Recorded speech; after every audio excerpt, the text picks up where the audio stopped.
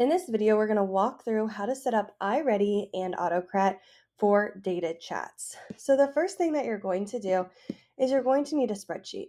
And in this spreadsheet, you are going to need to put your student's name, your last name, your email address, their parent's email, their iReady scores, and then if it is winter, you can add that score. But for the first part, you're probably just going to have this section filled out. Once you have that section filled out, you're also going to have these two rows filled out as well. So you can see here my sample score, and I already have my stretch growth and typical growth typed in. You're going to do this for each of your students um, and every single class that you might have. So it is a little bit set up at the beginning, but once you have this data in, the winter and spring will be pretty easy to enter those scores. After I have kind of what I want, so I'm looking here and you can change any of these if you want to use um, the domains or something else, feel free to do so.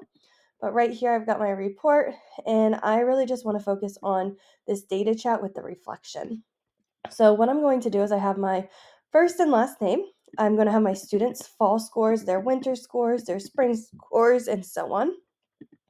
We're going to show their stretch growth and their typical growth right here. Once we do that, there's going to be a parent check where this is going to be for the parents to work on. Um, and it's just going to have this parent say, Hey, did you look at this? And they can say, Yep, I reviewed it, or No, I have not yet. And then you're able to follow up or have the child kind of follow up with their parent. In this box, they can delete and leave a comment to their child if they wish to do so. During the data chat, you might want to use this paper to help students kind of see some examples of progress, goals, and next steps. So, um, one achievement that they're proud of, they're thinking ahead, their goals are, and how they're going to achieve their goals. So, again, they might use some of these ideas or sentence starters to kind of help them form their own personal goals in which they're going to focus to improve in iReady. So now that we have our template um, figured out, and again, if you wanted to change any of these, you are totally able to do so. Um, you'll just need to make a copy of these documents and just make sure that these match um, with these. And then anytime there is a caret, this is where it's going to personalize to this area for that student. So now we're going to go into extensions and we're going to go to Autocrat. We're going to click open. Now there is already um, some merges over here because I copied this document from something I was working on. So if you want to, you can just go ahead and use my template or you can start from a new job. This is saying there's some errors.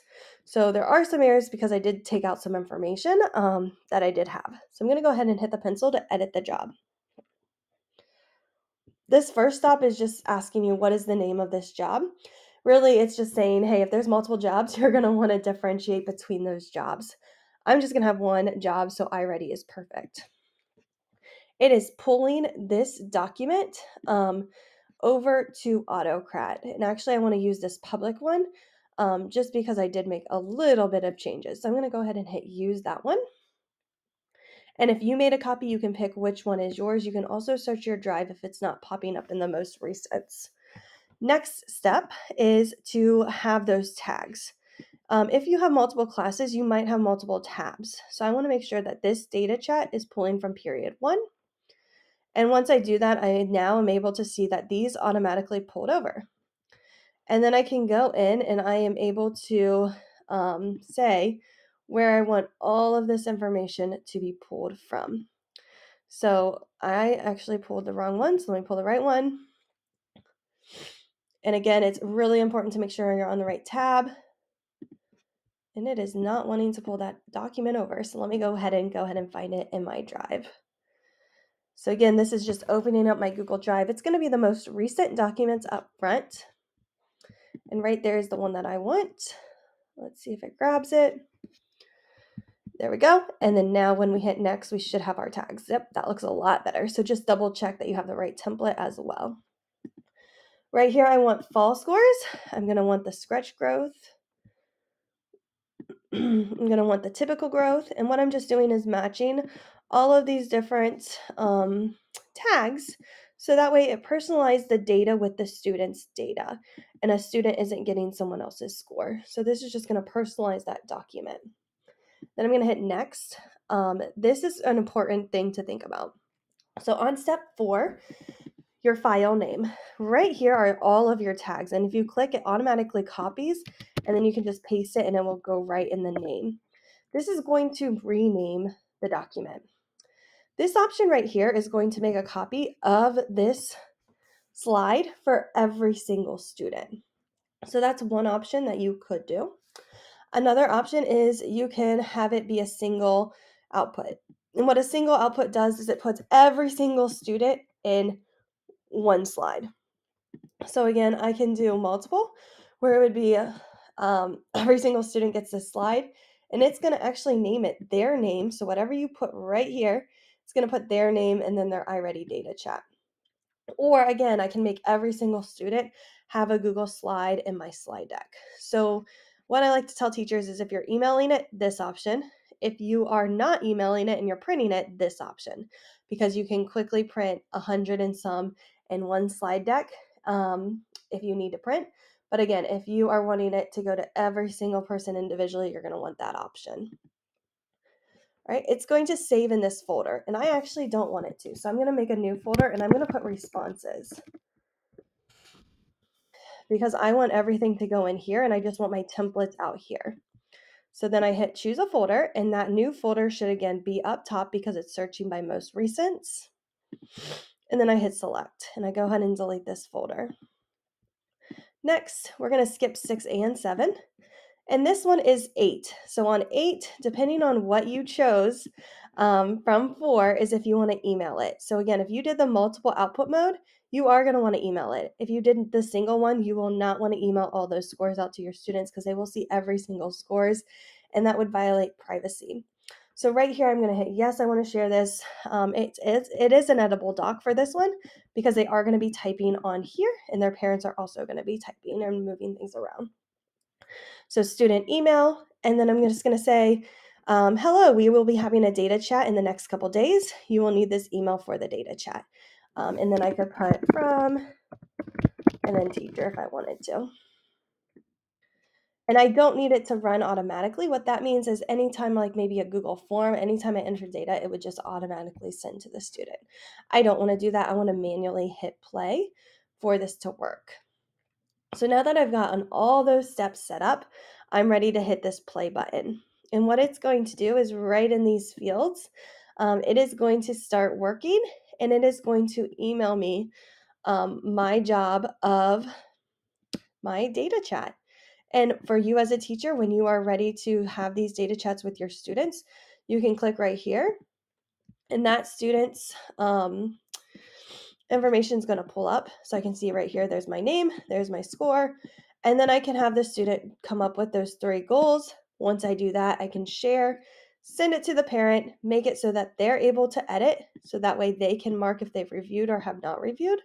And then they're able to also mark um, in this comment box if they want to type anything to their child. Um, so again, it's just a great way to kind of start those data chats off and get the students kind of thinking. And real quick, you can see I made an error with the student's name. So I actually need to go into the extension and anytime you need to update it, you're just going to go into Autocrat, hit the pencil, and then we're going to just find that step, and it's right there. And instead of student's name, um, I need this one right here because I forgot that I changed it to first name. And I actually want to do their last name. So I'm going to grab right there and I'm just going to do student's last name. And if I wanted to do their first name, why not? I'm going to add that right here. And now I've got their first name and last name, and I'm going to hit save. And then what's going to happen is I could rerun it if I wanted to. I could also go right here, and let's say I added winter in. So if I add in winter in, I need to delete J through M. So anything with the autocrat boxes, I need to delete those. And now I can add that this student maybe got a 500. And I can go in again, extensions, autocrat, open,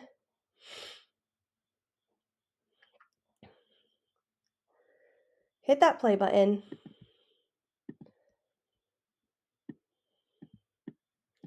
And again, my job is starting. So anytime you want to rerun this with new data, You just have to delete these boxes right here with the information and it will run for you again. So again, it corrected what I made wrong with my Stephanie Howell. Now my students have their fall score or their winter scores and they're able to make new reflections as well. So what a great way for some data chats with your students. And again, once you're done, you can click share, send it to the parent because you've got that email in the spreadsheet if that's what you choose to do. If not, you might not need to collect it. And then you can type an email in there to the parent. I have an email template right here if you want to copy, use, edit. Um, and I'm able to kind of copy and paste this with video directions and what the, stu- the parent needs to do right to that parent. And then I'm able to hit send. So then that parent is notified. They then can come in and add comments and chat with their child about their scores as well and be a part of this process. Um, so, cannot wait to see how you use this with data chat.